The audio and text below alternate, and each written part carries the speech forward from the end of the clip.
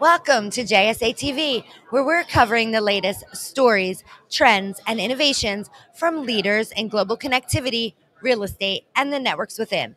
I'm Buffy Harakidas of JSA, and joining me today is Patrick Quirk. He is the Chief Technology Officer of Nautilus Data Technologies. Patrick, welcome. Thank you, Buffy. It's good to be here. Yeah, it's so great to be here in the beautiful French Riviera Yeah, uh, no for kidding. Datacloud Global Congress. Tell viewers a little bit more about Nautilus in case they don't already know. Sure. So at Nautilus, we're a we're a technolo- cooling technology company. We have a base technology that allows us to remove the bulk heat from data centers. It's designed for scalability, environmental sustainability, and growth in the AI center from a density perspective as well. And you made some big news lately. Uh, tell us a little bit about some of those announcements, specifically the START campus and what makes that landmark so significant. Yeah, we were super excited about that one. That was a um, the Start Campus folks have designed a really innovative campus. Um, they they're converting a, a former coal-fired power plant on the Atlantic coast in Portugal into an industrial facility that's utilizing the existing seawater intake and discharge that was part of the coal-fired power plant. They're adding in a potentially a liquid natural gas regasification plant that generates cold energy and then 500 megawatts, nearly 500 megawatts worth of um, data center capacity, and then creating a essentially a, a closed loop system where they can utilize the heat that's generated, the waste heat that's generated from the data center, and be able to use that in industrial processes and offset the uh, cold energy that comes from the regasification of liquid natural gas. So it's a very innovative Yeah. campus solution, really addressing um, you know the kind of the future sustainability needs for Portugal, and it ties in with a um, you know kind of a large cable landing station that's coming in, so it'll be a communications hub as well for that part of Europe. Um, so what we ended up doing with them was uh, they had some existing customers that needed higher density cooling. So in the first phase, we're retrofitting some of their existing data halls with our technology to be able to support higher density customers, AI, in particular, it's AI customers.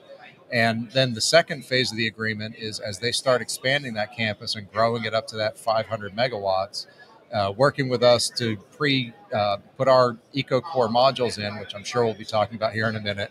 Put Yeah. our EcoCore modules in as part of the overall project as they build out to that 500 megawatt campus. So, speaking of the EcoCore uh, solution, why don't we dive right into that? Why don't you tell viewers a little bit more about the EcoCore solution and how it supports the advancement of next generation data centers? Sure. Um, the simplest way to think about EcoCore is its data center as a product. Uh, there have a lot. There've been a lot of people that have done uh, modular technologies for deployment at data centers over the last 10, 15 years. The limitation, though, is that they're they're typically a single function. So you can have a, a cooling module or a power module, or you could have a containerized type solution that provides the whole thing. But you know, in those cases, they're they're limited in their ability to scale. So what we try to do is based upon our existing cooling technology, which is all water based, um, runs under a vacuum, so it allows us to distribute it in the data hall without concerns for the IT gear. Because of that, we're able to we were able to design a modular solution that is fully integrated. And includes all the power distribution, the cooling distribution, the network trays, the power bus bars for connecting up into the equipment, and essentially is everything in a package built at a factory. We ship from those units down to wherever the site is and they can be installed over the course of a week or two and you basically have data center as a product. It's a lot like a lego block building project if you could Okay. think of it and so that you know kind of the base design at whatever the location is we come in with the modules and uh, you know well over 70% of the work is done in a factory. So you increase quality it increases speed to market and it provides a lower uh, lower capital cost. And then with our technology you then have the lower operating cost and a more sustainable solution uh, going forward. And if i can just make one more point about it. Sure. the uh, the other aspect and, and a lot of people miss this in sustainability you know everyone thinks about what is your carbon footprint or they, Right. they focus on maybe one particular element of it but really sustainability at its core is about efficiency but it's not just power efficiency you know how can you be efficient in your use of space how you know if you build it a higher density on a smaller footprint you're going to use less concrete, you're going to use less steel, less copper. All those things contribute to the sustainability of the overall solution. And that's what we're bringing to the market with EcoCore. Well, congratulations. It's definitely a much needed solution. And when we talk about sustainability, what considerations, sustainability wise, uh, should data center operators be thinking about?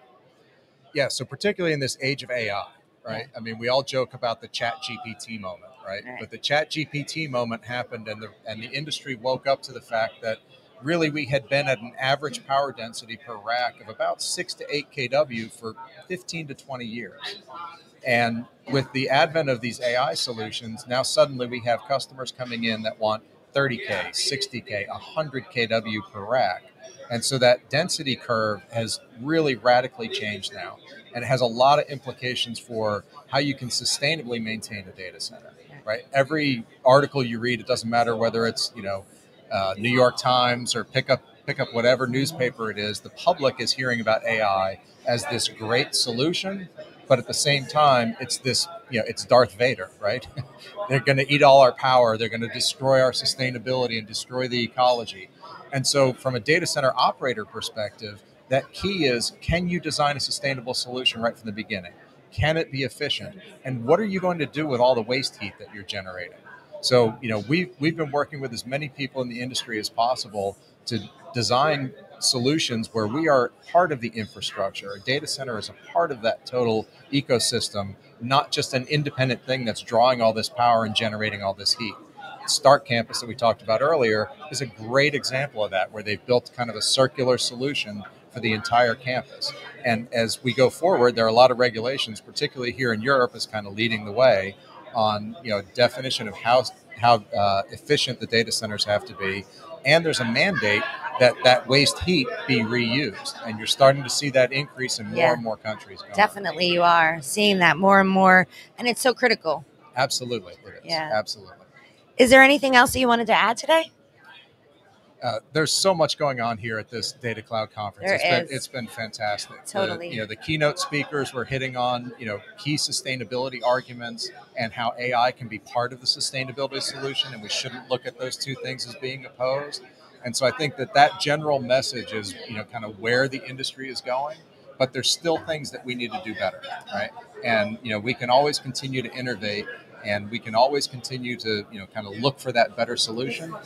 And this is a, we're, we're at a great inflection point with AI and the density increases, but we're also at a great inflection point for the sustainability of data centers going forward. And that's so important, especially as you know, JSA's Greener Data Initiative Absolutely. Uh, that we're here promoting I'm as well. Halfway through the book. Yeah. Thank and what do you think of it, it so me. far? Oh, it's been fantastic. Uh, it's our pleasure. We actually gave uh, 40 students uh, today, the talent and tech students, a copy of the book as well. Right. Uh, we have them here by our booth, stand number 19. Patrick, thank you so much for joining us thank today. So uh, for viewers, where can they go if they want to learn more about Nautilus? Go to our website, nautilusdt.com nautilusdt.com. Viewers, thank you for tuning in to another episode of JSA TV live from Datacloud Global Congress in the beautiful French Riviera. Thank you again for tuning in. Stay curious, stay connected, and happy networking.